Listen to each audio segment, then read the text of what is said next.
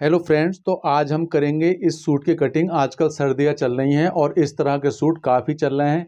काफ़ी लोग कंफ्यूज हो जाते हैं कि हम बॉर्डर कैसे रखें। अपनी कुर्ती को आड़े में कटिंग करें या फिर इस बॉर्डर को निकालें। यहाँ पर लोग कंफ्यूज हो जाते हैं काफ़ी लोग। तो जो सही तरीका है, वही आज की इस वीडियो में बताने वाला हूँ। दोस्तों तो हम क्या करेंगे यहाँ पर? हमने यहाँ पर कपड़ा लिया है ढाई मीटर। और इस तरीके से कपड़ा है डबल तय है। और इसका इधर है, देखो, इधर बॉर्डर नहीं है। और इस साइड में इसका बॉर्डर है। तो हम क्या करेंगे? सबसे पहले इस बॉर्डर को कट करके निकाल लेंगे। तो हम यहाँ पर इस बॉर्डर से आधा इंच दूर जाके कटिंग करेंगे जो हम अपना मार्जिन ले सकें। तो हमने यहाँ बॉर्डर कट कर लिया है। कुछ लोग क्या करते हैं? बॉर्डर कट नहीं करते हैं और अपनी कुर्ती को इस तरीके से कटिंग कर देते हैं आड़े में। जब आप अपनी कुर्ती को आड़े में कटिंग करेंगे ना तो वो एक तरफ़ को भागने के चांस उसमें ज़्यादा रहते हैं और कुर्ती में खिंचाव रहता है, ठीक है? यानी कि सही फिटिंग नहीं बैठ पाती। तो हम क्या करेंगे? सबसे पहले इस बॉर्डर को कट करके निकाल लेंगे, अपने दामन में आगे पीछे और स्लिप्स में से लगाएँगे। तो दोस्तों, इस तरीके से हम इसको बिछाएँगे, ठीक है? अब इसका बिछाने का जो तरीका है, वो क्या है? मैं आपको बताता हूँ। जैसे इसकी हिप है सैंतालीस इंच तो हम रखेंगे या पौने बारह इंच। पौने बारह के बाद में हम रखेंगे, दो इंच का मार्जिन देंगे साइडों में, जो क्या नाम है हमारा, ये लूज करने के काम आता है। उसके बाद हम एक इंच, सवा इंच लेंगे नीचे चाकों में फोल्ड करने के लिए।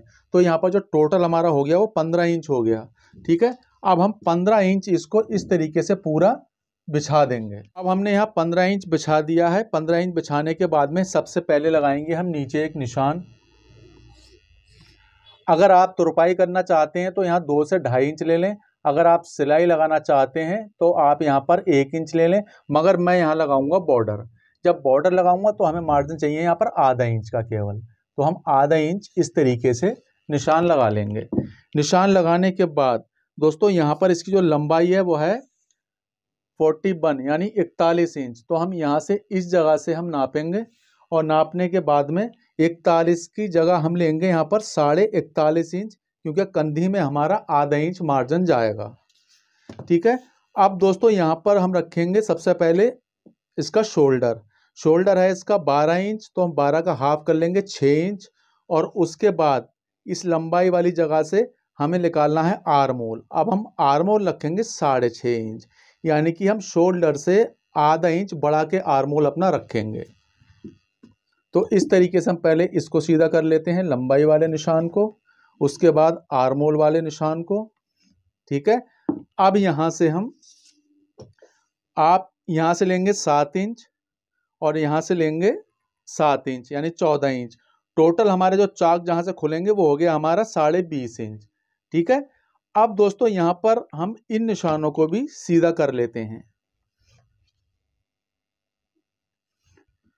सीधा करने के बाद अब हमारे यहाँ पर इसकी जो चेस्ट है, वो है चवालीस इंच। चवालीस का फोर भाग कर लिया हमने, हुआ यहाँ पर ग्यारह इंच।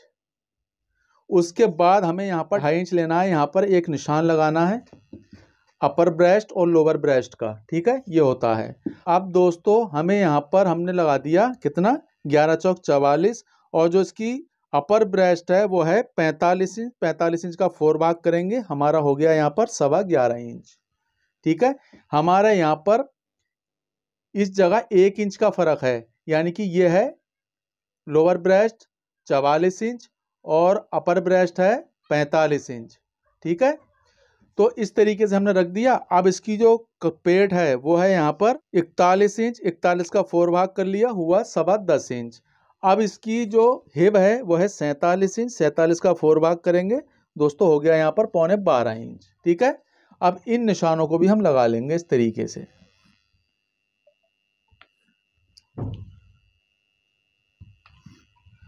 अब इसका जो दामन है, वो है चौबीस इंच, ठीक है? यानी पल्लू। तो चौबीस का हाफ़ करेंगे, हो गया बारह इंच। सवा इंच लेंगे हम उसके लिए। तुरपाई के लिए। आप चाहे सिलाई लगाएँ तो एक इंच लें, तुरपाई करें तो सवा इंच लें। तो मैंने यहाँ पर लिया है सवा इंच और यहाँ पर भी लूँगा मैं सवा इंच और इस जगह लूँगा दो इंच और यहाँ पर भी लूँगा दो इंच। आप चाहें तो यहाँ ढाई इंच भी ले सकते हैं। यहाँ पर भी दो इंच। अब दोस्तों, हमने यहाँ पर लगाया ये निशान छः इंच पे तो यहाँ पर भी लगाएँगे हम छः इंच पे। इस तरीके से। ठीक है?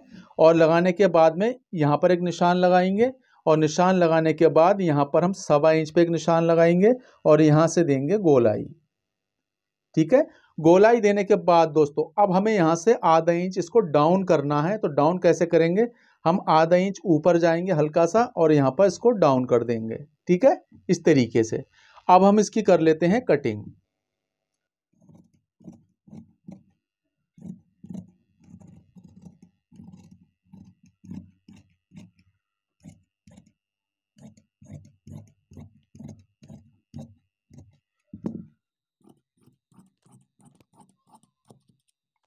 अब दोस्तों, हमें यहाँ पर हमने कटिंग कर लिया है अपना सामना, उसके बाद में इसके नीचे लगाएँगे एक निशान, जिससे हमें फिटिंग की सिलाई लगाते टाइम कोई परेशानी ना हो। यहाँ लगा देंगे हल्का सा कट और कट लगाने के बाद में इसको इस तरीके से इकट्ठा कर लेंगे और नीचे वाली साइड भी बराबर से कटिंग करेंगे।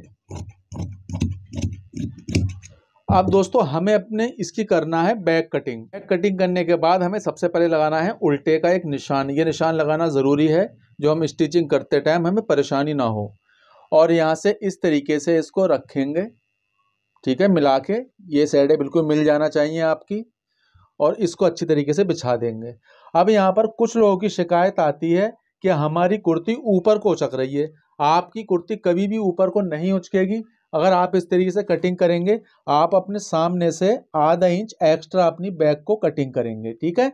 और यहाँ से बैक पल्ले को इस तरीके से कटिंग करेंगे, ठीक है? तो यहाँ पर हम इस तरीके से कटिंग कर देते हैं।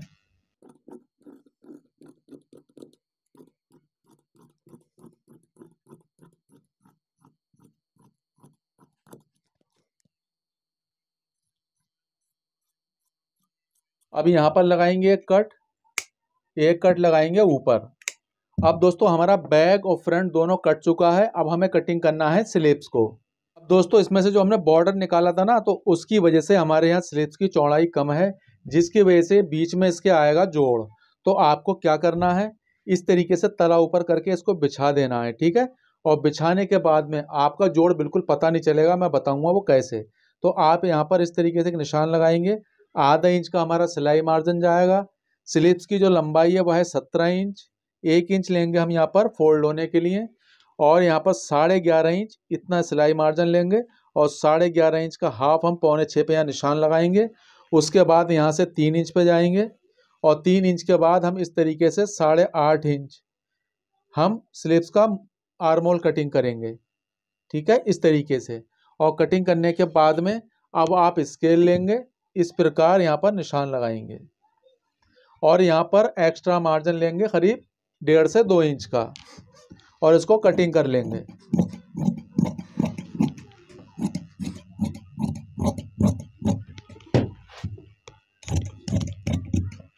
अब दोस्तों यहाँ पर जो हमारा ये जोड़ आया है ना, बीच में ये जोड़, इस पर लगाएँगे सिलाई और सिलाई लगाने के बाद इसकी दरस फाड़ के प्रेस कर लेंगे, जिससे बिल्कुल हमारा जोड़ नहीं चमकेगा। तो इसी प्रकार हमें अपनी दूसरी स्लिप्स कटिंग करना है और यहाँ से हमें पौन इंच का गैप देना है। ये हमारे फ्रंट पल्ले में चढ़ेगा, ठीक है? इस तरीके से। तो दोस्तों, यही थी हमारी आज की वीडियो। दोस्तों, अब यहाँ पर मैं आपको बताऊँ जो बॉर्डर है हमारा ये ये बॉर्डर हम लगा देंगे अपने पल्लू पे इस तरीके से, ठीक है? इस तरीके से लगाना है और हमें अपने स्लिप्स के मुँह पे लगाना है। बॉर्डर यहाँ पर जितना भी है, सब हमारा ये काम में आ जाएगा। तो दोस्तों, यही थी हमारी वीडियो कभी भी आप अपने बॉर्डर कटिंग ना करने के चक्कर में सूट को कभी भी आड़ा कटिंग ना करें। अपने बॉर्डर को निकालें और बॉर्डर को निकालने के बाद में, ठीक है? आपको अपने बॉर्डर को अलग से लगाना पड़ेगा। इस तरीके से हम यहाँ पर सिलाई लगाएँगे और इस बॉर्डर को ऊपर चिपका देंगे। तो चलिए दोस्तों, मिलते हैं आपसे नेक्स्ट वीडियो में। Thanks for watching